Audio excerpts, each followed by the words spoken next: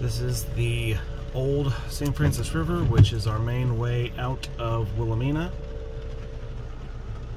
As you can see, there's a pretty strong current that's blocking us out our main way.